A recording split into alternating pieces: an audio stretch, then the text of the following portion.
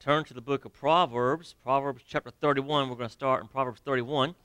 We'll look at some passages in the book of Proverbs. But Proverbs 31, we're not going to look at the entire chapter. In fact, we're actually going to just look at the, the last two verses as a springboard for our message this morning. We're going to actually start in these two verses and end with these two verses and jump a lot of places in between. So, uh, Proverbs chapter number 31. Proverbs 31 draw your attention to the last two verses of the chapter. On Wednesday evenings, we've been dealing with the book of Proverbs, and uh, maybe you may not realize, but the last two chapters in the book of Proverbs are really uh, practical examples of someone who implements the truths of Proverbs. And of course, 31 deals with the virtuous woman. It's a picture of the, the godly woman who uh, lives in the proverbial wisdom of the writings of Solomon through the inspiration of the Spirit here. And when it comes to the end of the chapter, notice these words, starting verse 30. He says, Favor is deceitful, and beauty is vain. But a woman that fears the Lord, she shall be praised. Amen. Give her the fruit of her hands, and let her own works praise her in the gates. This morning, we're going to look at the, the virtues of a godly woman. And I want to draw attention to that phrase. I thought this morning really verse 31 Give her the fruit of her hands, and let her own works praise her in the gates. This morning, I want to emphasize that thought. And moms, uh, you're busy. There's a lot of things you do with your hands, and proverbially with your hands. And what I want to do this morning is uh, encourage you, but also challenge you. What are you doing? Uh, he says, Give her the works of her hands. They will praise you. They also can do the opposite, can't they? So let's look this morning at what are we doing with our hands? Godly virtues, virtues of a godly mother this morning. Let's pray. Father, we do come to you this morning thanking you for your blessings. We thank you, Lord, for the opportunity to be in your house and, Lord, to open a copy of your word. And, Lord, I pray this morning, as we look at four truths concerning mothers in the book of Proverbs, that, Lord, Mothers will be encouraged. Mothers will also be challenged. But we love our mothers. They're a great gift from you. And Lord, I pray this morning that all is said and done, bring glory and honor to you. In Jesus' name we ask it all. Amen. I don't know about you, but mothers seem to always have some phrase of wisdom to give us. I'm sure in your house you probably can think back to some things your mama always told you. Little tidbits of wisdom she instilled within you. Well, I'm going to give you eight things you'll probably never hear a mother say. Eight things you'll probably never hear a mother say. Number one, how on earth can you see the TV sitting that far back? Scoot a little closer. How about this? Oh, just leave all the lights on. It makes the house look more cheery. How many of you grew up and mom was kind of like, turn the light off. You leave the room, cut the light off. I mean, you heard that? Yeah. All right. Here's another thing you probably never will hear a mother say. Here, let me smell that shirt. Yeah, it's good for another week.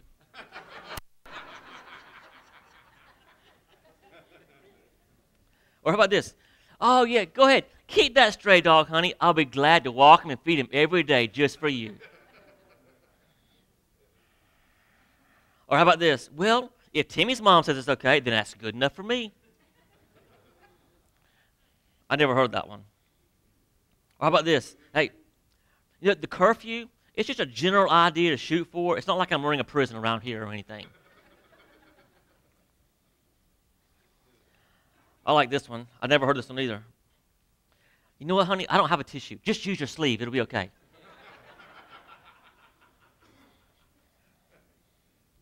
and then, lastly, don't bother wearing a jacket. The wind chill is bound to improve.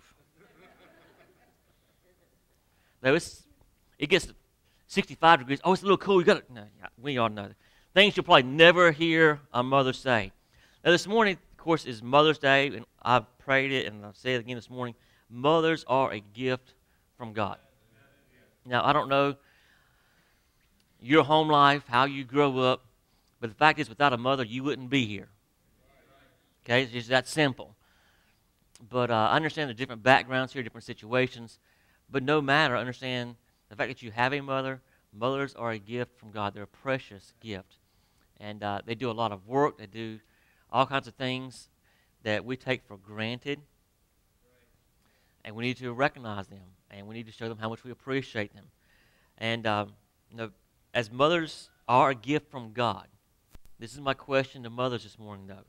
Mothers, are you the gift God intended you to be? Are you the gift God intended you to be? Um, we're going to look at four facts this morning concerning God's will for motherhood. And of course, the, the virtues of a godly mother, we're going to look at four godly virtues. If you would turn over to chapter 19 of Proverbs, Proverbs chapter number 19. Proverbs 19 and verse number 14. Proverbs 19, verse 14 says this Houses and riches are the inheritance of fathers, but a prudent wife is from the Lord. Know, godly mother is, first of all, prudent. Godly mothers are prudent. He talks about a prudent wife. Now, let me go ahead and say this and get out of the way. Before you're a mother, you should be a wife. Okay? That's the way God set it up. A prudent wife is from the Lord. Godly mothers, a godly mother is prudent. The word prudent here means someone who is circumspect or someone who is intelligent. Once again, we talked about tidbits of wisdom that mom has for us. Does, does always having something to say, some kind of little bits of wisdom.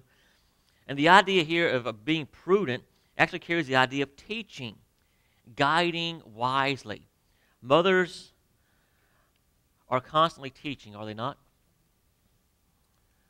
We have to be taught over and over and over and over again the same truths about keeping the refrigerator door open, about playing with the light socket, all different kinds of things that mothers are constantly teaching. A godly mother is going to be prudent, one who is giving wisdom, one who is constantly teaching. I want you to note the parallel here. Notice verse 14 talks about, let's read actually verse 13 and 14 says, A foolish son is the calamity of his father, and the contentions of a wife are a continual dropping. Houses and riches are the inheritance of fathers, and a prudent wife is from the Lord. So, two verses, a couplet here that go together. But notice the parallel in verse 14. He mentions, you know, houses and riches are the inheritance of fathers. That's a earthly father, correct?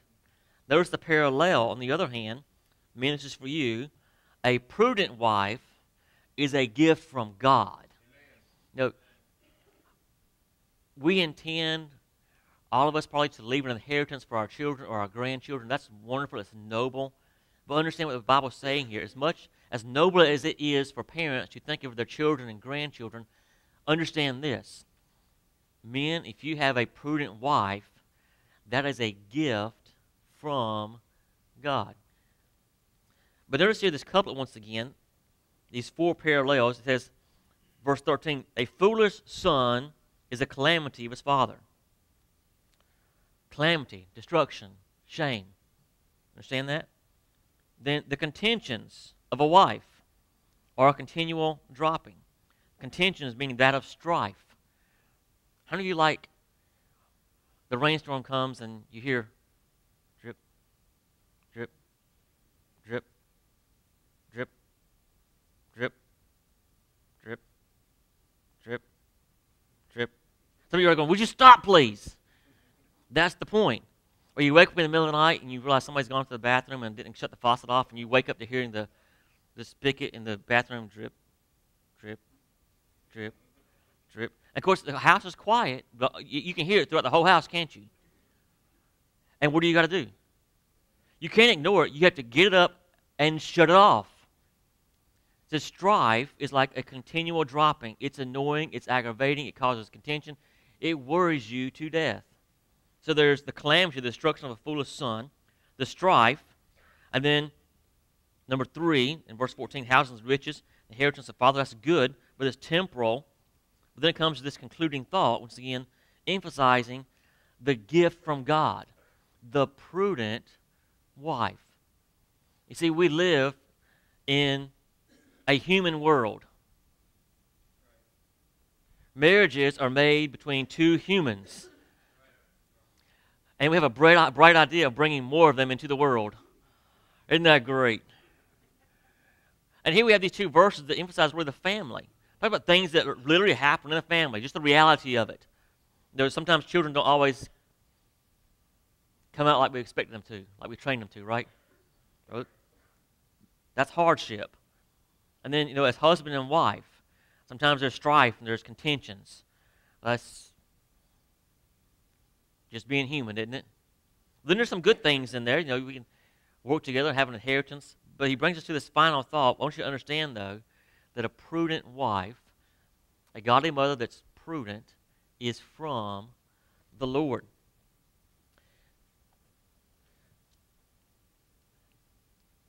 Mothers, I know that we get on your nerves. Wives, we drive you crazy. But a godly mother is prudent.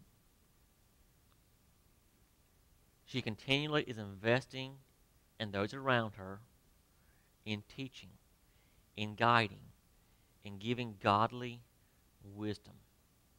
I want to encourage you. Examine yourself, and if that's you, keep on keeping on.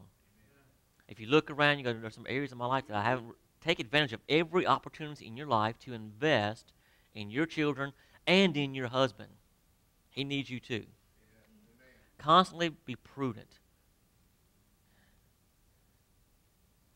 Easter Sunday, three years ago, Easter Sunday 2013, uh, in the afternoon on Highway or Interstate one, Interstate 77, uh, between the North Carolina Virginia border. You're familiar with that area, you're leaving Winston Salem, you're on 77, and you're going north. Uh, you're going to go through Mount Airy, Mayberry, North Carolina. Go through Mount Airy, then you go through Fancy Gap, and go up to the mountains. You cross the border, and you come over to Woodlawn and Galax. Woodlawn's where I pastored my first church, so I'm familiar with that area. But in that area, about three years ago, on Easter Sunday, on that stretch of Highway I-77, Interstate 77, there was a major pileup. Matter of fact, the interstate was shut down for several hours. Um, and when it was all said and done, the officers uh, reported that on that day, that Sunday afternoon, there were actually 17 different collisions that involved 95 different cars and trucks. Because going up the mountain, the fog set in. And people foolishly continued going the same speed. Even the visibility was reduced to less than 100 feet. So they're going 65 miles an hour down the, down the interstate in the fog and 17 different accidents. You know, how foolish was it to blaze on down the interstate in the fog? Visibility was greatly reduced. People were blinded from what was in front of them. Mothers, I want to remind you this, this proverb, Proverbs 27, verse 12. It speaks of men, but it's mankind. It speaks of woman as well. It says, A prudent man foreseeth the evil. This is Mother's Day. Let's change that a little bit. The truth is still there. A prudent mother sees the evil and hideth herself. I'm going to even go further hideth her children, her husband, because the simple pass on and are punished.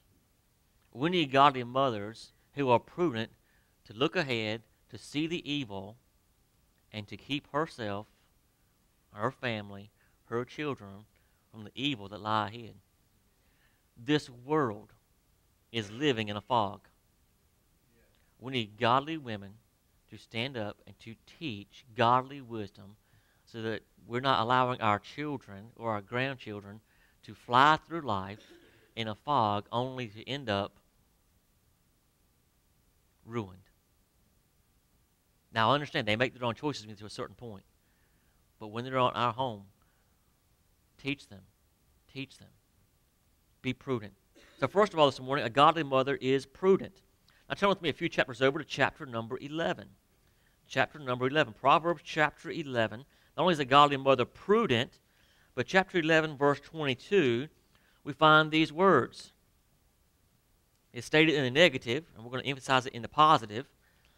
It says, As a jewel of gold in a wine's snout, so is a fair woman which is without discretion. So let's make it a positive. A godly mother not only is prudent, but she uses discretion. She's discreet. She knows. When I think of discretion, I think of the idea that not only knowing what to say, but also when to say it and how to say it. That is discretion. It's that element of wisdom, once again, that's taught in the book of Proverbs.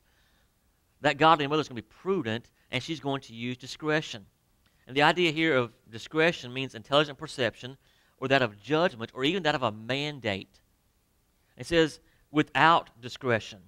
Mothers, we don't we need mothers that have discretion, not mothers who are indiscreet. But the idea here also is not only not having it, but the idea without could also have the idea of departing from it. Mothers don't depart from discretion. Don't depart from godly living.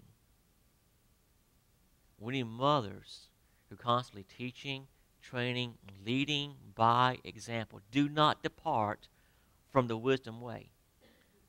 I know life gets tough, life gets hard, and sometimes you look around and think, what in the world is going on? Nobody ever listens.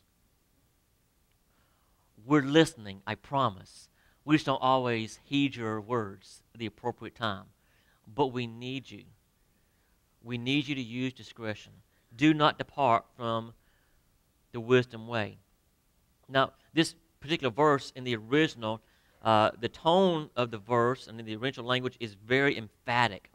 It is emphasizing this idea of we need discretion. We need intelligent, prudent women who will guide, who will lead, who will not depart from the ways of God. And he says here, now, this, isn't this a beautiful picture?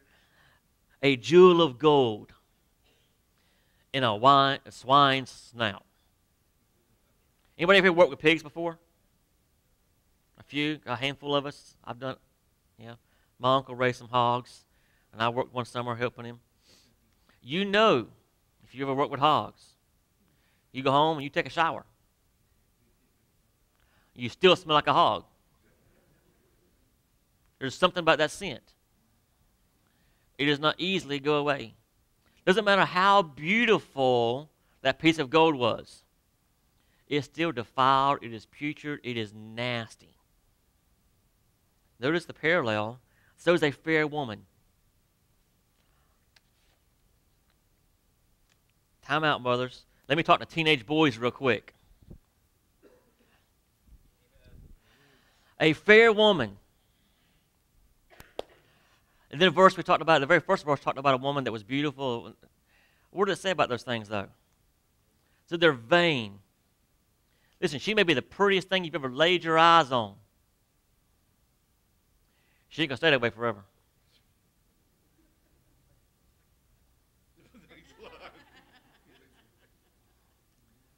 Pretty fades.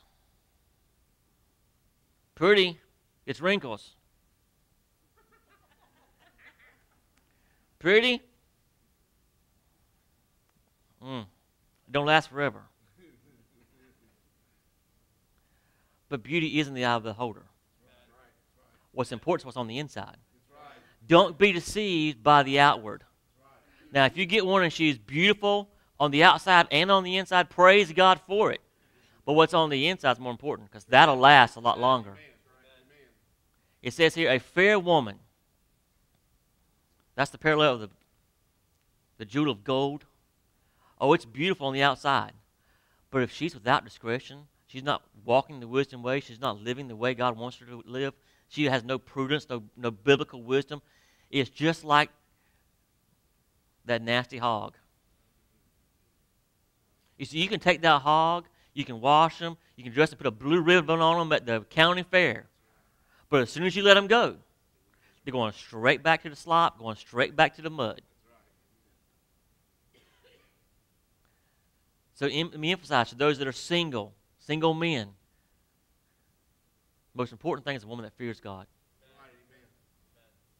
Now, God bless you. Now, uh, I hope if you marry her, you think she's pretty.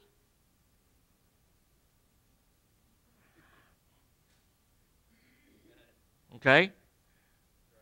But what matters is on the inside. Notice here the idea of prudence and discretion. The idea here, once again, that no matter how fair, how beautiful she is, if she is without discretion, once again, the original language emphasizes this. What it is saying simply is a woman that has no discretion is a monstrosity of a lady because she is no lady. She may have good looks on the outside, but on the inside, she is putrid, she is rotten, she is vile, she is not worth your attention for the godly man. Women, ladies, moms, don't depart from the wisdom way. We need every godly woman that we can find. The world we live in today, we can look around and we see a lot of things that are wrong. It's not the politician's fault. It's we've developed a generation that's departed from God. Do not depart from the wisdom way. Notice, as we talk here, this verse 22, the emphasis of the fair woman uh, without discretion is like that jewel of gold in a swine's snout. Turn back or look back to verse number 16. Here's the opposite. A gracious woman retaineth honor, and strong men retain riches. We need gracious women. They will be honorable. They will be honored as we read our first text. Give her the work of her hands. They will praise her. Mothers, we are the workers of your hands. And we praise you this morning. And we thank you. So a godly mother is prudent. A godly mother uses discretion. And then look at chapter 14 of Proverbs, chapter 14, verse 1. Chapter 14, verse 1. Notice, every wise woman buildeth her house, but the foolish plucketh it down with her hands.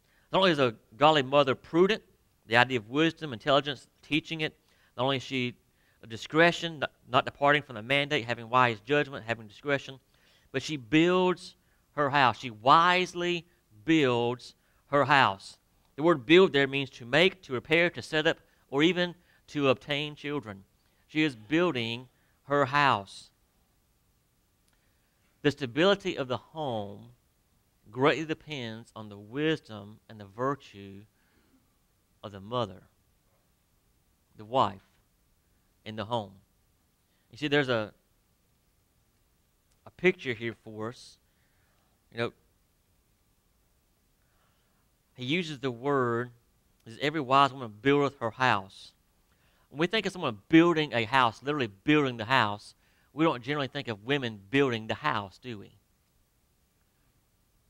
You, you, know, they were building my home. I went out there and I never saw a woman on a job site. I'm saying they couldn't be there, but when I went out there, the men were out there. They were the ones digging the foundation, pouring the concrete, you know, dropping off the, the lumber, doing the carpentry work, laying the shingles. Doing, they actually built the structure itself. But there's an emphasis here. The woman builds the home. A godly woman will wisely build her home. She will have a plan set for. She will see what needs to be done, what needs to be corrected. And once again, she is building her home. She is making it. She's repairing it. She's setting it up. It's a constant work. She is diligent to make sure her home is the home God would have it to be. Look with me at Proverbs chapter 12, verse number 4. There is a choice that every wife, every woman needs to make. Proverbs chapter 4, or chapter, chapter 12, verse 4. A virtuous woman, that's what you want to be, right? Ladies, you want to be a virtuous woman? So a virtuous woman is a crown to her husband. Can I get an amen from the husbands? Okay. A virtuous woman is a crown to her husband. Women, you can choose to be a virtuous woman and be the crown jewel, the little crown of your husband. Or, here's your second option. But she that maketh ashamed is as rottenness in his bones. Now, that is so true. It's one or the other. And literally, let's, let's put it in this, this little phrase here. You have a choice. You can be a crown or a cancer.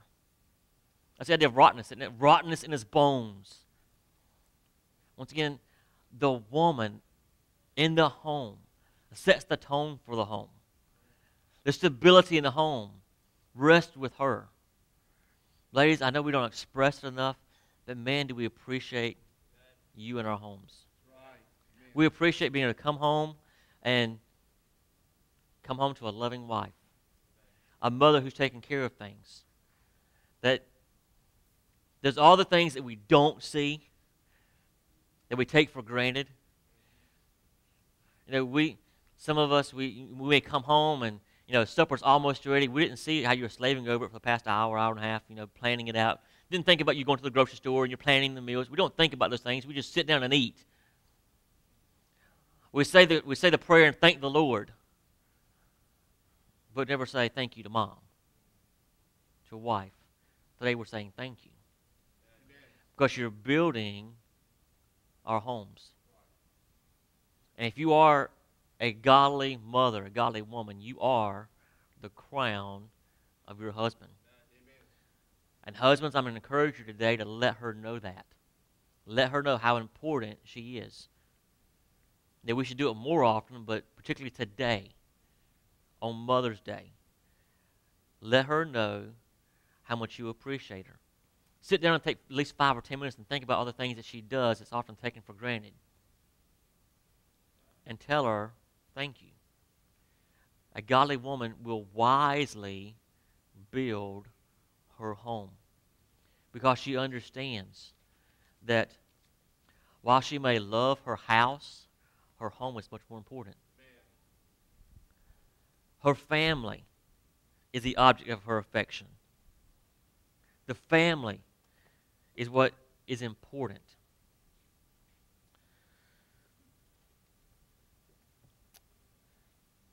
In the founding of our country,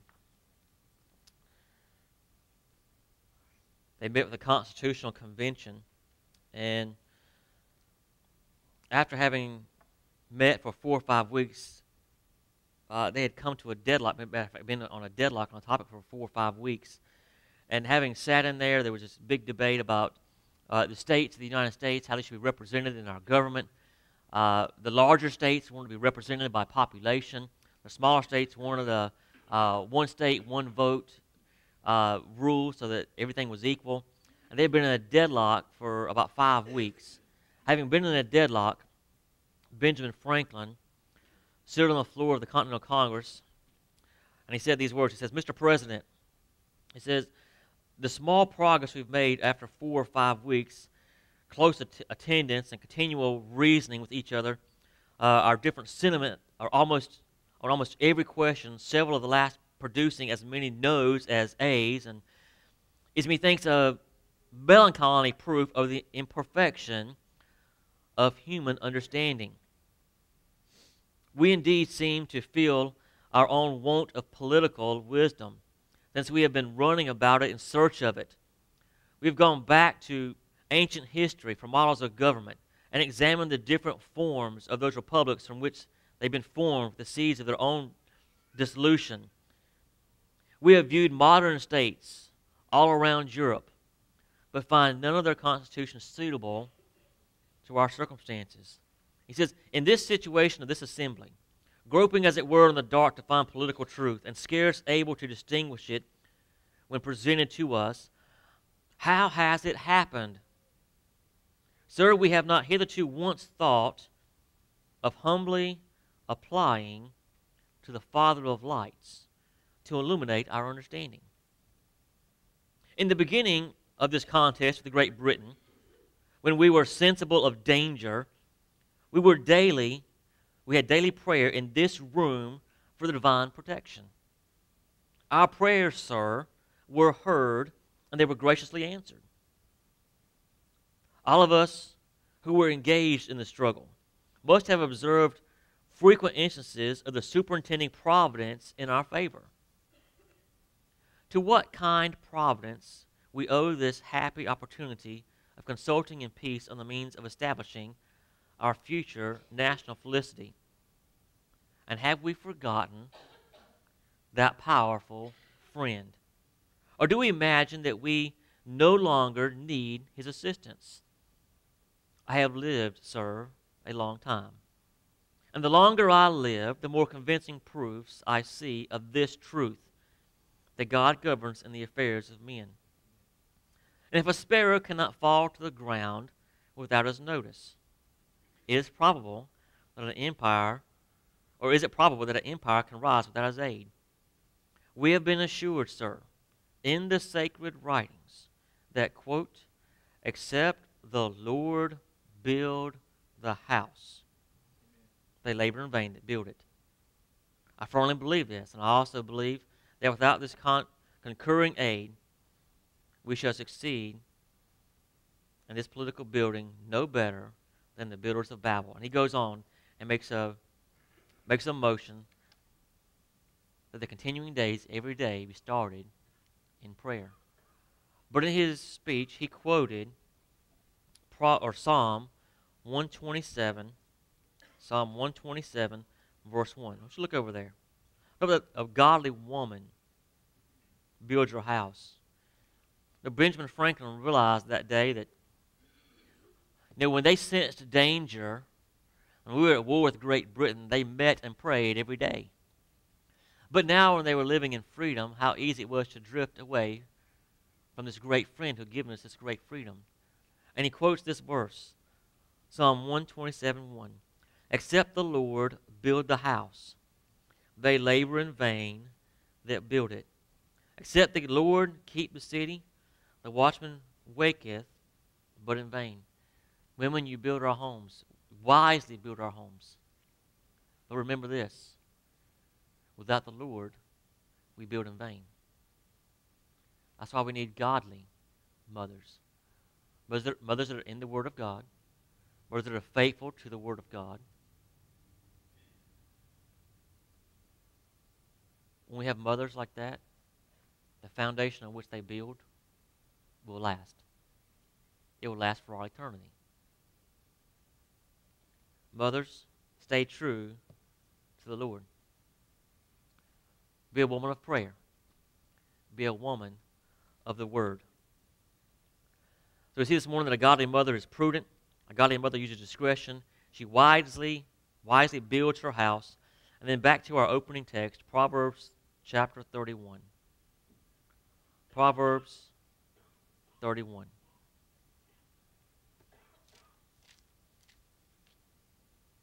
How is all this possible? Well, this is our last point this morning. Proverbs 31, verse number 30. Favor is deceitful, beauty is vain but a woman that fears the Lord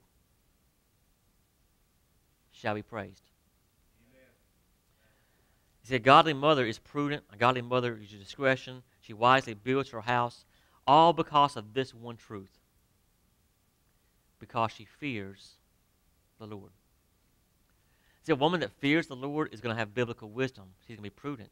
She's going to use discretion and she's going to build her home according to the Word of God because she fears the Lord. What does it mean to fear the Lord? Well, the fear of the Lord is, is two aspects. First of all, it is the, the awe, the amazement, the wonder of the Savior. If a godly mother is going to be a godly mother, she needs to fear the Lord, first of all, in the matter of salvation. The awe of the Savior his love, His mercy, His grace, His wisdom, all His magnificent attributes. We stand in awe of how wonderful He is. But the second aspect of fearing the Lord is the oh, oh of the Lord. The fact that He is holy, He is righteous, He is just. And what He says will come to pass. Many times we tend to emphasize the awe and the love and the grace of God. And we forget that He is holy. His holiness will not be compromised. That He is righteous and He will judge justly. Sometimes in our minds we have it mixed up, and most we don't need to get it mixed up. We need to fear the Lord.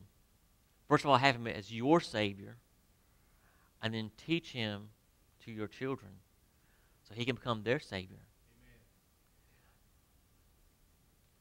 We need mothers who stick to the Word of God. Don't get things confused because, you know, when you and I and our children stand before God, the time for mercy and grace is past.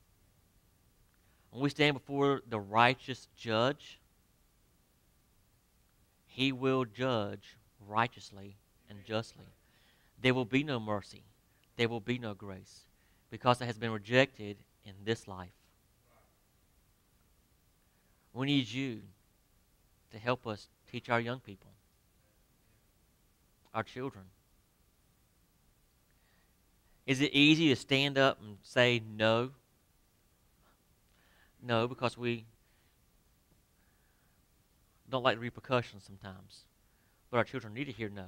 They need to have discipline. They need to have structure in the home. They need to have rules. To, because they need to understand the fear of the Lord. We are all going to be held accountable for our actions. See, the godly mother, she fears the Lord, understands her role as a servant. She's a servant in the home, she's a servant to the Almighty God. She has obtained a husband, she's obtained children. Those are gifts from God. And she will serve God in that capacity to the best of her ability.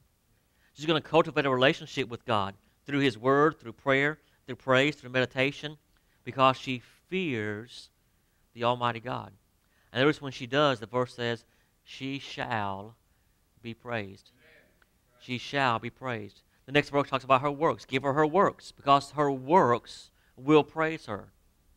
The most important works you have, ladies, are your husbands and your children. You invest in us. And we praise you this morning the works of your hand, your husband, your children, your house, your job. The godly mother shall be praised. There is no promise for the ungodly. I'm going to encourage you this morning, ladies, be a godly mother. Be a godly wife.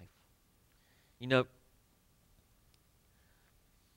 we are sitting here this morning and we are honored to have our mothers with us. And I know there was mothers in different stages here. There are some young ladies here who, who are not mothers, but one day uh, they dream to be married and, and to have children of their own. Can I encourage you, those of you that are single, you know, being a godly mother doesn't start when you get married. It doesn't start when you bring a baby into this world. It starts now. See, to be a godly mother, you have to be a godly wife. To be a godly wife, you have to be a godly woman. So it starts now. You can be the godly woman, young woman God wants you to be now. Prepares you to be the godly wife that you need to be and the godly mother you need to be. But as mothers here, we're different stages of motherhood. Some, I don't know if there's any here this morning, we have some that are mothers to be. I saw some walk in with, the, with newborns. they're just haven't in their first or, or second, but they're still newborns. And we have mothers that have children at home, ranging from little ones to teenagers. And then we have those that, you know, mothers, your, your little ones have, have left home. But even though they're no longer living home, you're still their mother, aren't you? And I know this morning that in different stages of motherhood, there's different challenges. But I want you to con- continue being the godly mother. Now, we read that verse about, you know, a foolish son is a calamity to his father. You know, when a child leaves home, they leave home, don't they? The choices they make are theirs. Don't let that discourage you. Continue to be the godly mother. Continue to be the godly woman because the verse says, She shall be praised. Don't get discouraged. We need you more today than we've ever needed before. Be a godly mother. This morning, I want to challenge you as we come to the end of the message not only for the women, even though they've been the topic of conversation, for the men. Are we the godly man or woman God would have us to be? Thinking of motherhood. We can think of fatherhood. You know, it doesn't start when the baby comes. It starts today. No matter what age you are, the decision to be godly starts today. May we choose wisely to be the godly individual God's desire is for us to be. Let's pray. Father, we come to this morning thanking you for your mercy and love and your grace. And once again, we thank you for godly mothers. And Lord, I pray today that you would encourage the mothers who have done what is right. Lord, I know it can be easy to, be, to get discouraged. Lord, I pray this morning you would encourage them to know this morning that we are praising them and that, Lord, you are lifting them up as well. Lord, they have been obedient to you. Lord, they have uh, built their homes. They've had prudence. They've had discretion. Lord, may we, may we not, may not always see the results that we want to see. Lord, I pray that we would never be discouraged. The mothers would never be discouraged. Lord, that the fathers would never be discouraged. Or that each and every individual would be challenged to continue to be the godly man or woman, the young person that you would have them to be, knowing, knowing by the promise of your word that, Lord, we will receive justly the rewards you have for us. Lord, I pray this morning that your name be honored and glorified in all that we do. We give you all the honor and all the praise. In Jesus' name we ask it all. Amen. With heads bowed and eyes closed this morning, I'm going to ask you to stand to your feet. Uh, Miss James you'll begin to play. This morning, maybe the Lord's dealt with your heart about a matter. Maybe this morning you just want to come and thank God for your mother. Maybe it's a teenager. Maybe it's a young person. Maybe it's an adult. You just want to come grab your mother by the hand and say, Would you come pray with me? I want to thank God for my mother. However, the Lord's dealing with you this morning, I'm going to encourage you to be obedient. Maybe this, maybe this morning, mom, you've been discouraged. Maybe you've been, well, just beaten and battered.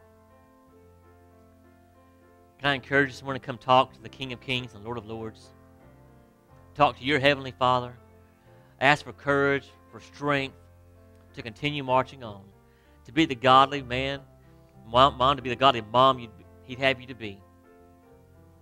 You come this morning as the Lord leads as she plays.